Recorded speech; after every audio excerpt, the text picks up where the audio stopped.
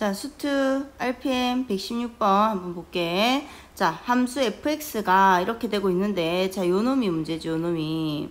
요 놈이 조금 복잡해서 x, x분의 1, 니를 치환하기로 했죠. 니를 t로 치환하자. x분의 1을 t로 치환하면 결국 limit 3 마이너스 x분의 1이 t니까 얘는 결국 x는 뭐야? t분의 1이라서 x자리에 t, t분의 1 넣을게.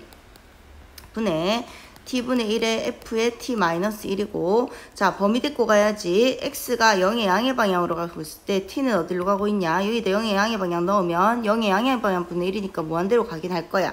근데 그래프로 굳이 얘기해 보면 자 얘가 무슨 축? X축. 네가 무슨 축? T축일 때 x분의 1의 그래프는 이걸 그리는 거지. 얘가 t는 t는 x분의 1의 그래프를 그리는 거니까 그럼 지금 t는 x분의 1에서 x가 0의 양의 방향일 때 0보다 조금 오른쪽으로 가고 있을 때 여기로 가고 있는 거지. 얘 어디로 가고 있어? 양의 무한대로 가고 있네.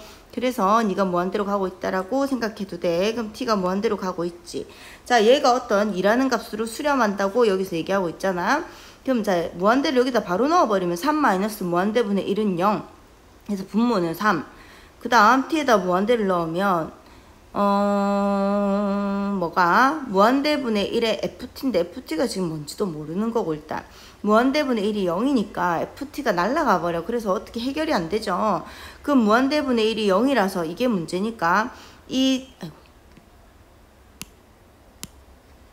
자 이놈이 지금 무한대분의 1이 0, 0으로 만들어 버려서 네가 ft를 날려버려서 문제니까 이놈을 해결하기 위해서 분모랑 분자에다가 t를 좀 곱할게 그럼 결국 limit t가 무한대로 갔을 때 3t-1분의 ft-t가 되다, 된다. 이게 뭘로 수렴한데? 2로 수렴한데 어? 밑에 분모를 보면 3t-1이니까 너는 상대적인 제로라서 사라지더라도 분모가 무한대가 되는구나. 그럼 무한대분의 무한대가 돼야지 2로 수렴하고 있을 테니까 결국 ft-t 니가 3분의 뭐가 2가 돼야 되니까 6t 플러스 어떤 상수 이렇게 되겠네.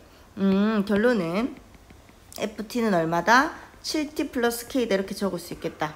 됐어. 그럼 이제 이 식을 쓰자. 자, 얘는 limit x가 2로 가고 있을 때 x-1에 x-2분의 fx 네가 어떤 걸로 또 수렴하고 있대. 그럼 봐. 분모에 1을 넣으면 분모가 0이구나.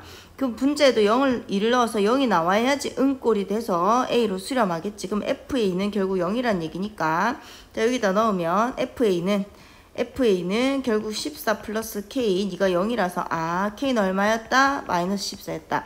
결국 FX는 뭐였다? 7X 마이너스 14였다. 자 그럼 이제 A 값만 구하면 끝났네. 여기 FX 자리에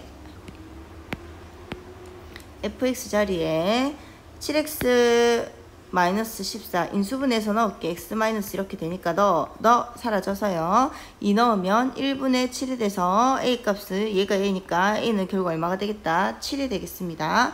그럼 f의 7은? F의 7 fa 구하라고 하는 거는 f의 7이니까 49 마이너스 14 답은 얼마? 35가 되겠네요